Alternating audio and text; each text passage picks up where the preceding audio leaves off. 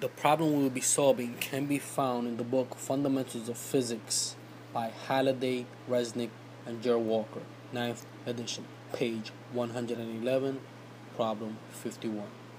Figure 547 shows two blocks connected by a cord of negligible mass that passes over a frictionless pulley, also of negligible mass. The arrangement is known as Atwood's machine. One block has mass m1 equal 1.30 kilograms the other has mass m2 equal 2.80 kilogram. What are A, the magnitude of the block's acceleration, and B, the tension in the cord.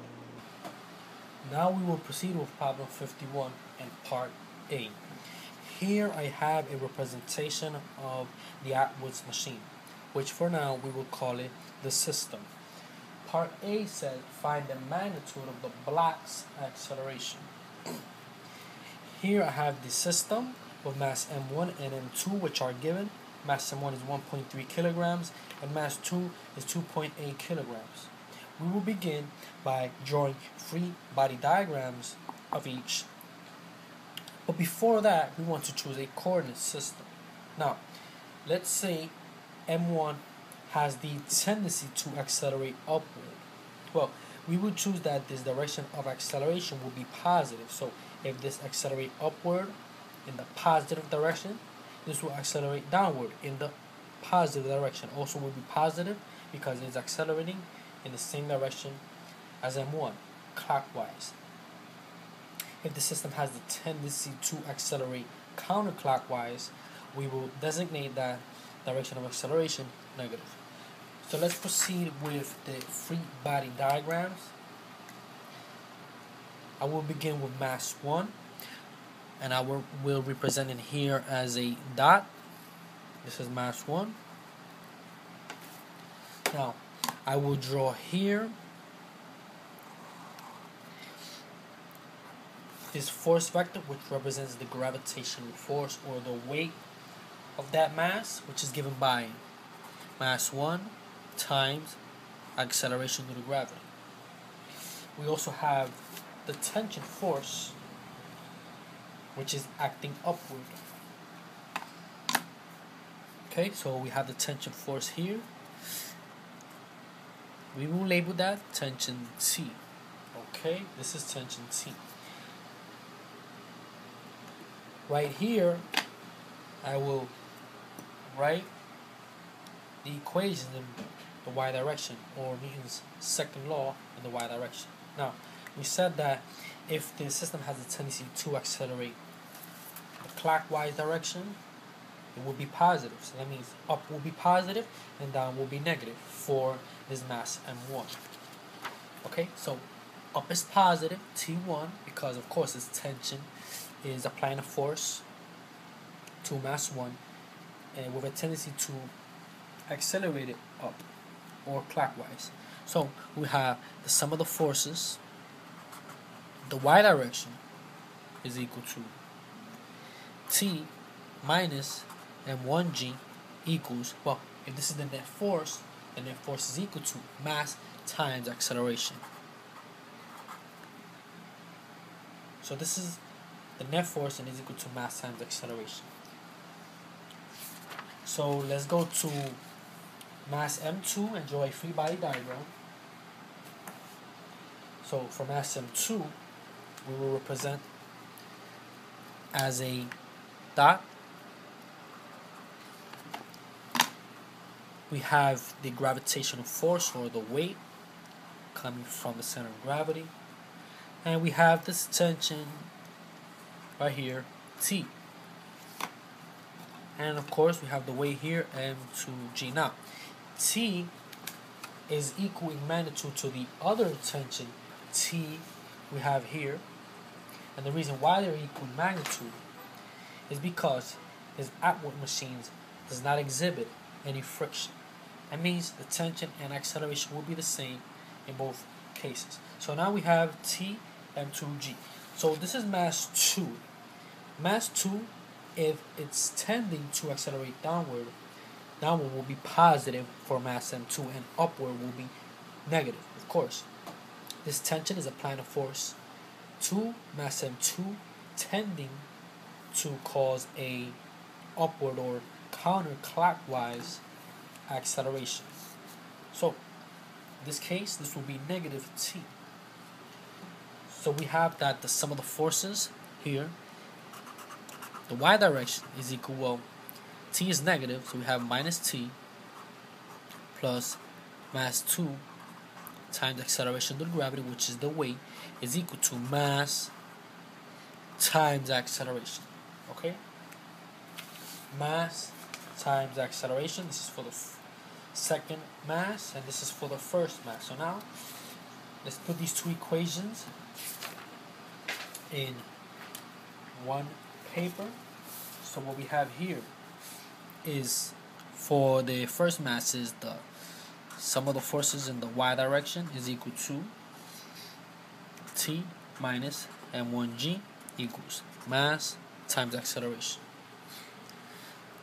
Sum of the forces in the y direction for the second mass is minus t plus m2g equals m2a.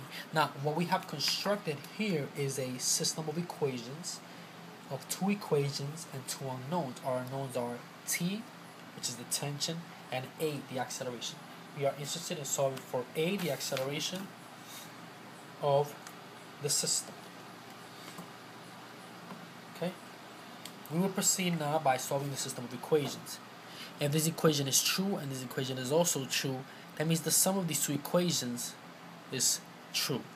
I'm going to add here on the left side both of these equations. So I have the first part of the equation, which is t minus m1g. I'm going to add it to the second part of the equation on the left side, minus t plus m2g equals. On the right side, I have m1a plus m2a. Okay. Now, notice that t is positive here and is negative here. These cancel each other out, and we're left with minus m1g plus m2g on the left side. So minus m1g plus m2g on the left side. And on the right side, we have a common factor of acceleration, or a. We will factor that one, so a, pull it out, m1 plus m2.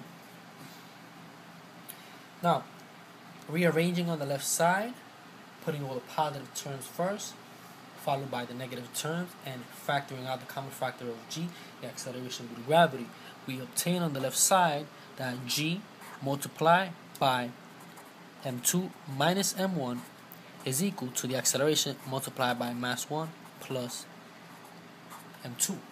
Solving algebraically for the acceleration, we will divide both sides of the equation by the product um, this parentheses m1 plus m2 the sum is in this parentheses. So we will have the acceleration a is equal to g multiply m2 minus m1 divided by m1 plus m2 this is the acceleration of the system. Okay so now we know that m1 is 1.3 kilograms and m2 is 2.8 kilograms substituting these values into our equation here for A, we get that 9.8 multiply m2 minus m1 or 2.8 minus 1.3 kilograms divided by the sum of the two 2.8 plus 1.3 we obtain the numerical value of the acceleration 3.58 or 3.6 meters per second squared. This is the numerical value. So we have solved part A, which is the acceleration. Notice that 3.6 is positive. This means that the system has the tendency and will accelerate in the clockwise or positive direction that we have chosen for our acceleration. Now, if we go to any of these equations and solve algebraically for t to find the tension, we will obtain the same value. I will do it with equation 1. t minus m1g equals m1a.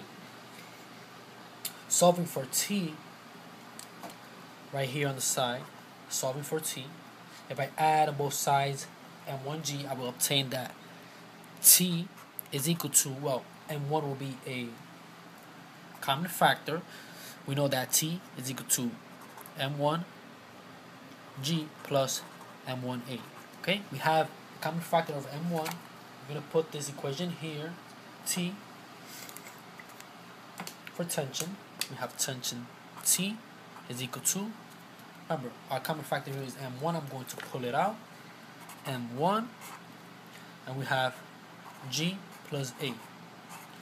So this right here is the magnitude of the tension in the cord and is given by multiplying the mass m1 which we are given 1.3 kilograms times acceleration due to gravity plus the acceleration of the system itself 3.6 meters per second squared. And our answer is 17.42 but let us keep two significant figures 17 newton. So for part A we found that the acceleration of the system has a magnitude 3.6 meters per second squared direction clockwise and the tension in the cord is 17 newtons